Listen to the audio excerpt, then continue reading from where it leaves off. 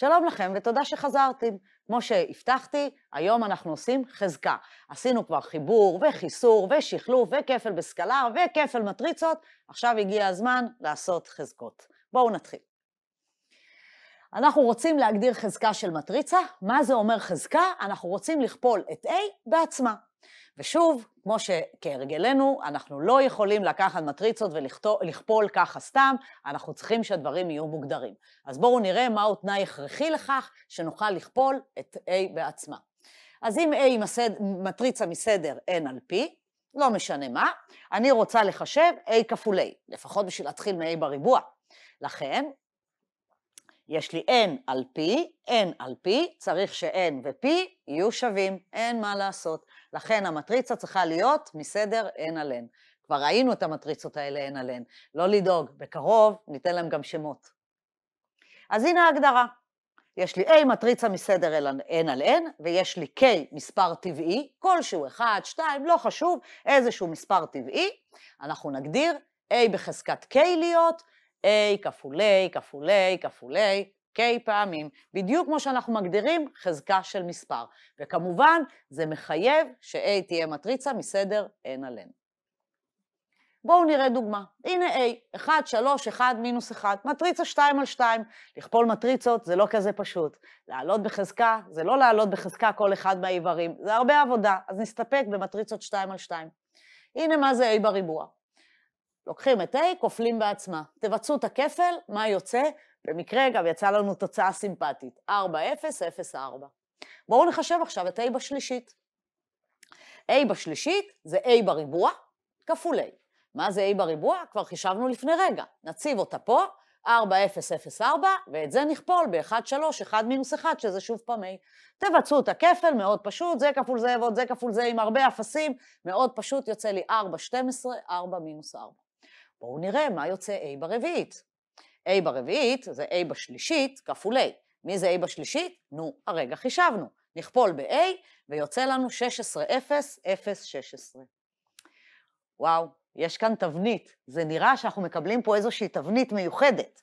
ש-A בחזקת שני K במספרים הזוגיים, 2 ו-4, יוצא, פה יוצא 2 בריבוע, 0, 0, 2 בריבוע. בחזקת 4, שתיים ברביעית, אפס, אפס, כן, כדולמדה מסתיר לנו, אבל היה לנו שם שתיים ברביעית. לעומת זאת, A בחזקה אי-זוגית, שימו לב, שלוש, תנסו את חמש וכן הלאה, תבדקו את התבנית, ויוצאת התבנית שתיים בחזקת K, אתם זוכרים, איפה זה שלוש? הנה שתיים בריבוע, שתיים בריבוע מינוס שתיים בריבוע, וכאן יוצא לנו שלוש פעמים שתיים בריבוע. תבדקו שהדבר הזה עובד גם בחזקות יותר גבוהות. ואם אתם רוצים לנסות להוכיח תבנית כזו, תבנית כזו צריך להוכיח באמצעות אינדוקציה. אני משאירה לכם את זה כתרגיל הביתה. אבל זהירות, לא תמיד אנחנו עושים חשבונות של חזקות ויוצא לנו מין תבנית כזו חמודה ונחמדה שאפשר לחשב את החזקות הגבוהות לפי התבנית שקיבלנו. הנה דוגמה. אני לוקחת מטריצה A שווה ל-1, 3, 1, 2, קצת שיניתי את המטריצה הקודמת. בואו נחשב A בריבוע, 4, 9, 3, 7. מה זה A בשלישית? שוב, לוקחים A בריבוע, כופלים ב-A. מה מקבלים? 13, 30, 10, 23. מה זה A ברביעית? טוב, 33, 90... אני לא ממש רואה איזושהי תבנית שמסתמנת פה.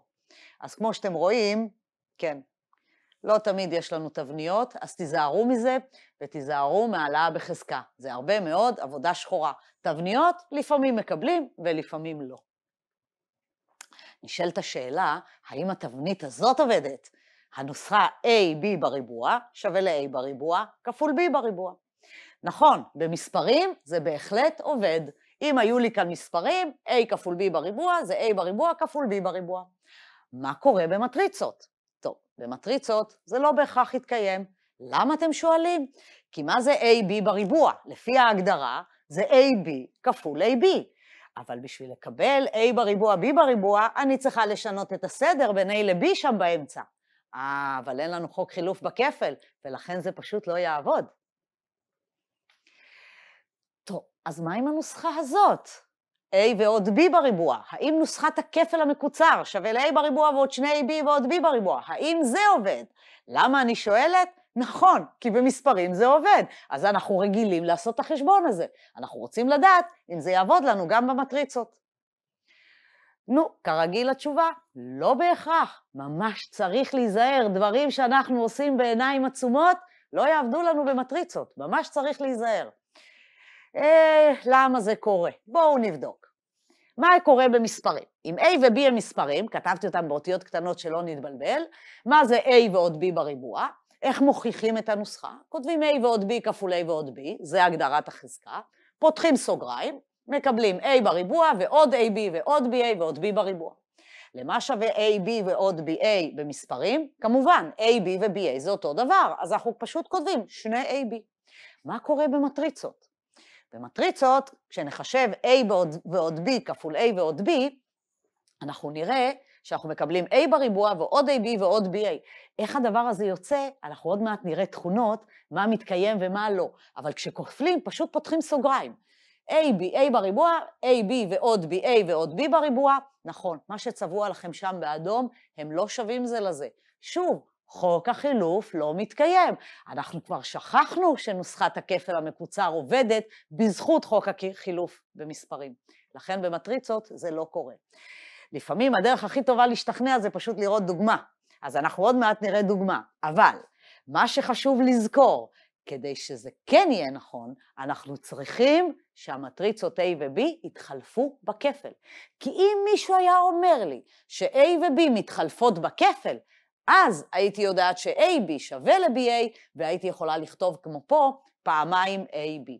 כל עוד הן לא מתחלפות בכפל, הנוסחה לא תעבוד. לא הנוסחה הזו וגם לא הנוסחה הקודמת של חזקות. אז כמו שהבטחתי, הנה דוגמה, אני לוקחת A ו-B, שתי מטריצות, מצד אחד אני רוצה לחשב את A ועוד B בריבוע, הנה A, הנה B, אנחנו קודם מחברים ואז מעלים בריבוע. מה מקבלים? 2, 2, 3, 2, מעלים בריבוע. שוב, לזכור, לעלות בריבוע זה לכפול בעצמו, זה לא לעלות בריבוע את המספרים. כופלים את המטריצה בעצמה, יוצא לי 8, 10, אה, סליחה, 10, 8, 12 ו-10. ובואו נראה מה יוצא החלק השני של הנוסחה. a בריבוע ועוד 2b ועוד b בריבוע. A בריבוע זה a כפול b, שני ab זה פעמיים a כפול b, ו-b בריבוע זה b כפול b. תעשו את כל החשבונות, והנה מה יוצא לכם בסוף. 17, 6, 15 ו-3. מה קיבלנו? שהתוצאות לא אותו הדבר. לו הייתי עובדת עם מטריצות שמתחלפות בכפל, זה היה עובד. הנה המלצה בשבילכם. לכו לשיעור הקודם, נתתי לכם שם שתי מטריצות שמתחלפות בכפל. תנסו שם לבדוק את הנוסחה ותראו איך היא עובדת יפה. זהו, סיימנו להפעם. תודה רבה לכם, וניפגש בשיעור הבא לראות את התכונות של הכפל.